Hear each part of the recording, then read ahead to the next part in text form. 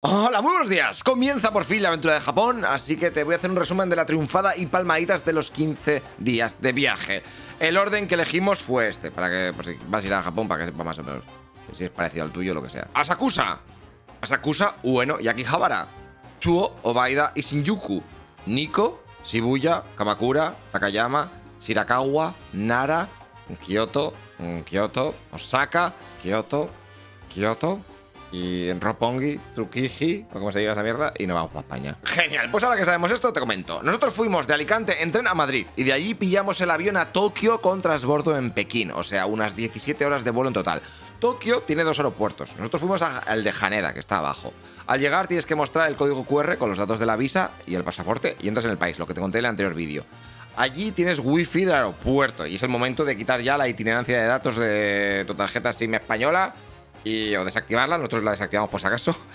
Y ya pones en marcha la japonesa, que te comenté también, que tienes que pillarte la eSIM o te compras una allí, pero más caro. También, como íbamos sin ningún yen, pues sacamos unos 200 euros cada uno en un cajero del aeropuerto. Para tener algo de efectivo, que nunca viene mal, no sabes lo que puede pasar. Hay que aceptar tarjeta, pero tú, chilao, ten algo ahí por si acaso. Desde el mismo aeropuerto cogimos un metro al barrio de Asakusa, donde habíamos cogido el hotel. Que el barrio de Asakusa, para pillarte el hotel, yo creo que es cremita, es de los mejores barrios porque está muy bien comunicado y todo eso.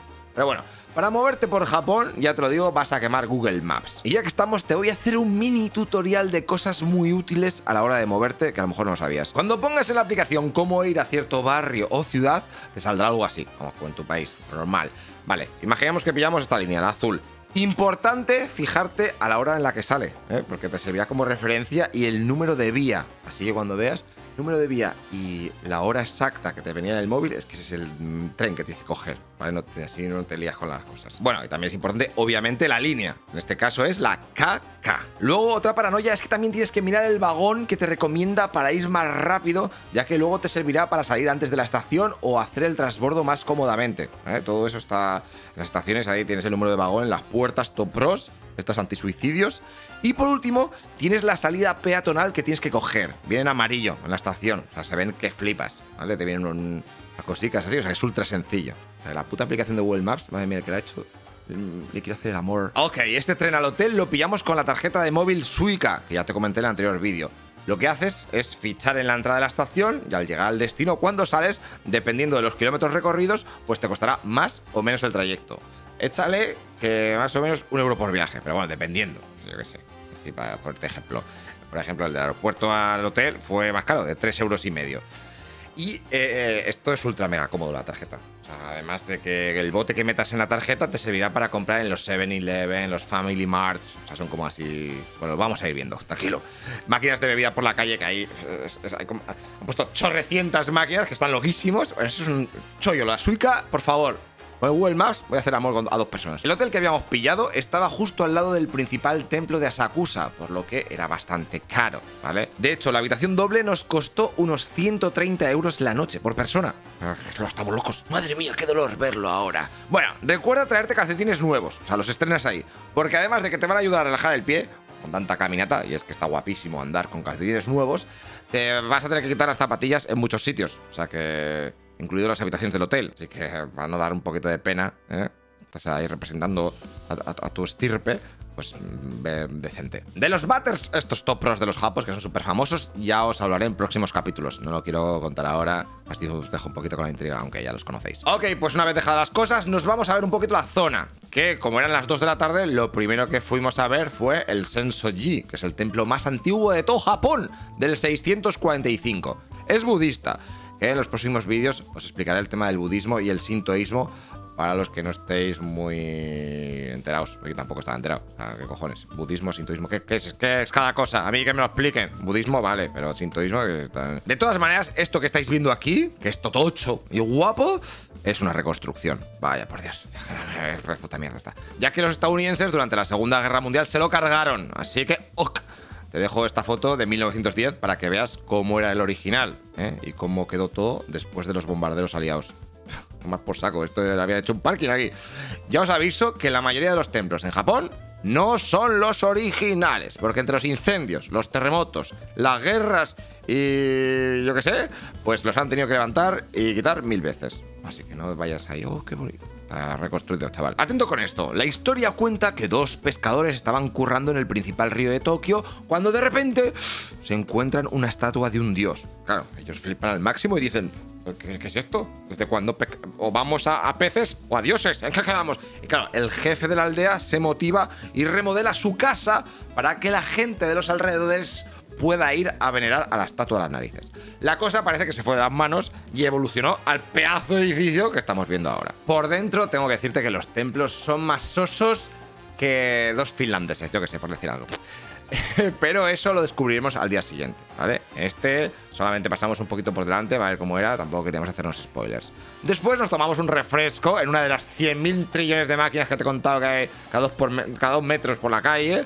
Te vas a aburrir de ver estas máquinas. Y aquí tienes desde agua, Aquarius, café frío, café caliente, zumos, té verde, té verde. Es que están enfermos con el puto té verde, con el té matcha, vamos bebidas energéticas y suele costar cada bebida pues unos 80 céntimos, un pavo, dependiendo, o sea, es barato, no te creas tú que te van a meter aquí una clavada.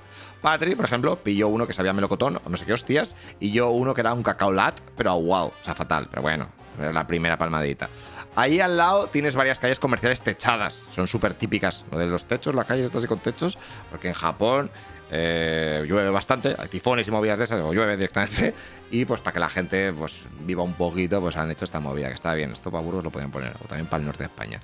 O sea que puedes pillar ahí comida o cosas como katanas y demás souvenirs. Pero bueno, es el primer día, o sea que no nos motivemos. Como teníamos un poco de gusa, pues pillamos algo en un súper, en plan unas patatas, los palitos, los palitos estos típicos del Mikado, pues ahí hay mil tipos. Y súper baratos, no como aquí, me cago en eso. Y algún refresco. Las patatas de Patrick, que pilló unas de queso, no sé qué hostia, estaban bien. Y yo unas sour cream, porque soy un junkie de esa mierda, pues sabían a culo. Y la bebida, pues sabía Aquarius mal. O sea, ok, next. Para intentar mejorar esto, pillamos una hamburguesa por dos pavos en un sitio que había bastante cola. Así que supusimos que estaría bueno. Y efectivamente estaba ultra mega cremosa la carne. Buah, pero muy recomendable. Para los que tengáis pensado ir a Japón, en el último capítulo os dejaré un mapa de Google Maps con los lugares que hemos visitado y donde hemos comido bien. Ah, y ahora que estamos hablando de esto, verás muchos sitios en donde hay una cola de gente que flipas. Y la gente dice, bueno, pues no merece la pena. Ah, pues sí. Pues algunas veces tiene una recompensa bastante buena. Esperar 30 minutos para comer algo, pero no siempre una cola te asegura una triunfadita, ¿vale? Si come bien, vayas donde vayas, más o menos. O sea, es que no te hagas colas, tío, yo qué sé. Depende, como estés cansado, pues te haces una cola, aunque es también cansa hacer una cola. Tú decides, déjame en paz. Y mira, como pasamos delante de un McDonald's, yo entré para ver cuánto costaba una hamburguesa a un euro, que efectivamente costaba unos 170 yenes, o sea, un euro. Está bien. Joder, ha hecho el cambio perfecto. Esta gente es de fiar, así me gusta. Y ya que estamos, para hacer el cambio en yenes, esto rápido, cuando fuimos nosotros, era como el euro, a peseta, ¿te acuerdas de aquello? Bueno, o sea, mil yenes eran 6 euros, así más o menos rápido. Pero vamos, que yo estaba a la mínima preguntando a Siri cómo hacer las cuentas más rápido con el reloj, porque es que si no. Después nos fuimos a dar una vuelta por el río, que en los foros ponía que el jardín de allí era la hostia. Vamos, que como te vayas a Japón y no veas ese jardín, a lo mejor te tienes que suicidar tres veces. Ni caso, es un río y un paseo, tampoco tiene mucha hostia. Algunas cosas para hacer el chorra ahí, que, bueno, para hacer que te hagas una foto y puedes ver al otro lado del río una mierda dorada gigante. O sea, el edificio ese es la cerveza Asahi, que seguro que lo vas a ver bastante cuando vayas por Japón, porque esa cerveza es bastante famosa, ¿vale? Bueno, pues en 1989 dijeron, oye, ¿por qué no ponemos una llama dorada encima del edificio para representar el corazón ardiente de nuestra cerveza y que a la vez parezca una espuma? Pues venga, vamos a hacerlo. Found. Un francés se lo hizo y les salió este ñordo de 360 eh, toneladas. Está hueco, ¿vale? Y el edificio abajo se supone que tiene forma de jarra de cerveza, que si lo ves así un poquito, pues te lo puedes crear. Pero eso que es una espuma o una llama, que te, que el dinero. Después de ver semejante obra de arte, ya, ya merece la pena venir a Japón, ¿eh? Dime que no. Tiramos para el edificio de turismo, que está al lado, porque se puede ver la zona desde arriba gratis. Tampoco nos flipemos, que es un triste octavo piso. Y ya que estás arriba, pues ves un poquito a Sakusa si lo ves así, muy bonito, con risas, y para abajo. No, es que ni subas, yo qué sé. Porque eh, ya iba tocando la, hora de cenar. Bueno, en verdad cenan a las 7 de la tarde, pero allí se cena a esa hora. Pues, ah, pues a mí no me lo digo dos veces. Miré que en varios blogs de viajes recomendaban un restaurante de tempura que había por el barrio de Asakusa, estaba cerca, así que entramos. Y esto es lo que nos dieron. Tempura por arriba, arroz, un té verde y pedimos unas birras. Bueno, todo una puta mierda, no vayáis. Y encima bastante caro para ser Japón, unos 20 pavos. O sea, no vayas, tío. por culo. Y claro, después de tantos fails seguidos, puf, ahí mi visión de Japón empezó a tambalearse. Madre mía, si este restaurante estaba tan recomendado, no me quiero imaginar el resto. A ver dónde nos hemos metido, chico. Para bajar la tristeza nos fuimos a dar un paseo y por el camino encontramos a saco de sitios de bolas de estas, o sea, máquinas que por dos o tres pavos, que encima es caro, pues pillas una bolica transparente que dentro tiene un muñequito. Madre mía, qué bien. Un muñequito o con lo que te estén vendiendo. Allí están súper enfermos con esta mierda. O sea, yo no entiendo, o sea, no... What the fuck, no tiene AliExpress, te lo compras, te sale más barato. Y finalmente llegamos sin querer a un Don Quijote, que es una tienda que está por todo Japón y es más que nada un mezclote de todo. Puedes pillarte comida, muñecos, chorradas, cuchillos, relojes, cromos. Es como un bazar, imagínate, para los japoneses. O sea, que está todo guapísimo. Al principio se llamaba Just Co, pero en 1989 cambiaron el nombre a Don Quijote. ¿Por qué? Pues porque patatas. Y allí empezamos a ver los cientos de miles de tipos de Kit Kat que tienen que lo de esta gente con los Kit Kat no es ni medio normal, pero todo tiene una explicación. A ver, los Kit Kats se crearon en Reino Unido, luego esta empresa fue comprada por Nestlé, o sea, los suizos, y estos los comenzaron a vender en Japón hace pues menos de 40 años, tampoco te queda mucho. La movida es que el nombre Kit Kat se parece mucho a Kito Katsu, que significa seguro ganarás. Y los japos, como son muy supersticiosos y todo eso, comenzaron a regalar durante los exámenes este tipo de chocolatinas a los estudiantes para que tuviesen Y claro, esto poco a poco se expandió y se metió en el día a día de los japoneses. Por eso, si quieres desear fortuna a alguien, es normal regalarle un Kit Kat ahí en Japón. Vaya puto marketing más bueno, la hostia. De hecho, gracias a esto, Japón tiene más de 300 sabores diferentes de Kit Kat. Un sinsentido total. También te comento una cosa. Cuando salgas de este edificio, de los Don Quijotes, tendrás la cabeza loca con la canción de las narices que ponen en bucle. Te comento que es de 1999 y la canta una de sus trabajadoras. Ya, ya no creo que sea trabajadora, pero cantaba. No, venga.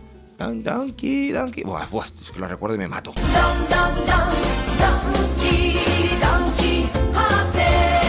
Fíjate cómo de famosa es la cadena esta de Don Quijote, que en el local del barrio de Tokio Roppongi hicieron una montaña rusa en el tejado, así del edificio.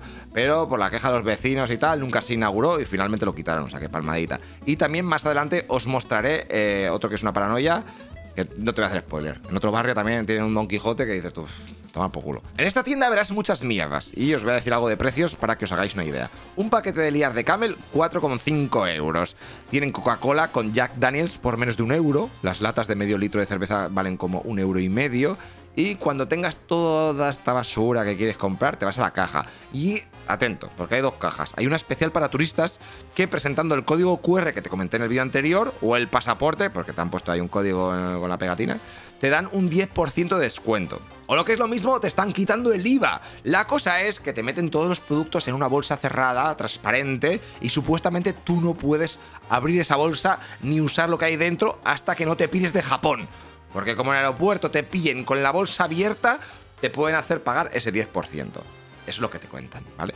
Spoiler, a nosotros no nos pasó nada e intuyo que a nadie, porque menudo Cristo sería ir abriendo todas las maletas facturadas para ver quién cojones ha roto la bolsa de las narices. Así que ni caso, tú la abres, sí, sí, que sí, la rompo en tu cara la bolsa y me como los, micados, eso, o los Kit me lo meto por la nariz. Y como ya era tarde y estábamos cansados, nos fuimos para el hotel. Aún el fail de la mierda de tempura de la cena resonaba en mi cabeza así que me fui a dormir pensando en que todo esto de Japón era una estafa y que Japón no existía y eran los padres. Lo que pasa que tonto de mí no sabía las sorpresas que me iba a deparar el día siguiente.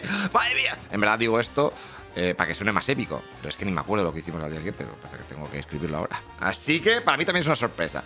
Por lo que te veo en el siguiente vídeo, porque ya en el día 1, porque acabamos de llegar, esto te acabo de contar que ha pasado una tarde, pero luego ya el día siguiente es. El vídeo del siguiente es. Vamos a ver a Sakusa, Ueno y Akihabara. Te comento un poquito más de curiosidades. Sé que otro puedes perder. Hasta luego, lo que pixas.